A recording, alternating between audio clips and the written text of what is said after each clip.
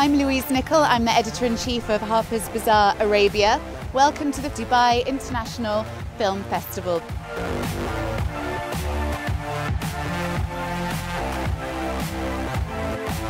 So we're here tonight at La Luz in DIFC to celebrate the best dressed studio that we have at the red carpet.